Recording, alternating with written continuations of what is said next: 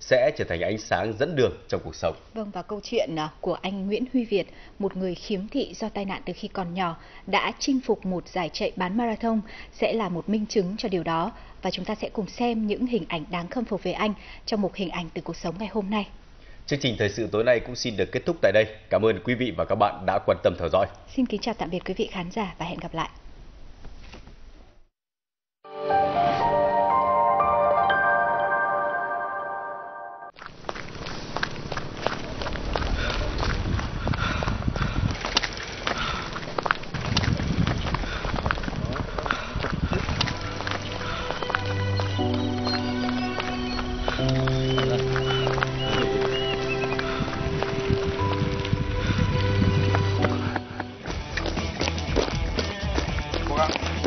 Phải nhanh chậm thôi vừa thôi.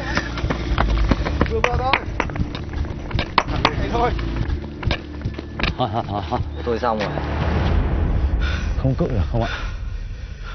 Sải chân ra để chạy nhưng mà chân cũng rất là đau. Là để quên bớt tôi cũng luôn luôn tưởng tượng những cái sự mong mỏi của người thân của tôi.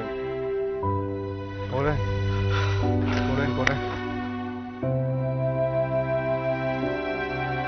là chúng ta cứ ờ, đứng ở tại chỗ thì chúng ta chẳng bao giờ đến được một cái đích nào cả. Cuộc sống ờ, đã đặt ra cho chúng tôi những người khiếm thị. Nhiều những khó khăn thử thách, sự bứt phá cho tôi chiến thắng được chính mình.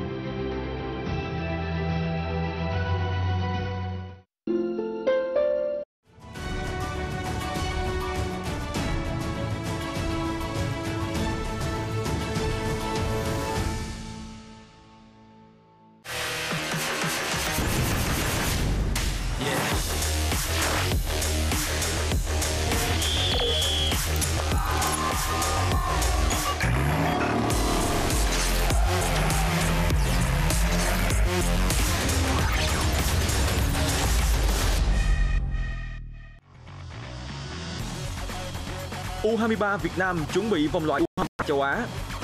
Bóng chuyền nam thành phố Hồ Chí Minh tích cực trở lại.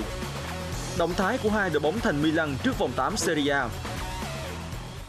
Xin chào mừng quý vị và các bạn đã đến với bản tin thể thao 36 năm của Đài truyền hình Thành phố Hồ Chí Minh. Thưa quý vị, sau khi đội tuyển quốc gia hoàn thành hai lượt đấu vòng loại World Cup 2022 trong tháng 10, giờ đây sự tập trung được dành cho đội tuyển U23 Việt Nam.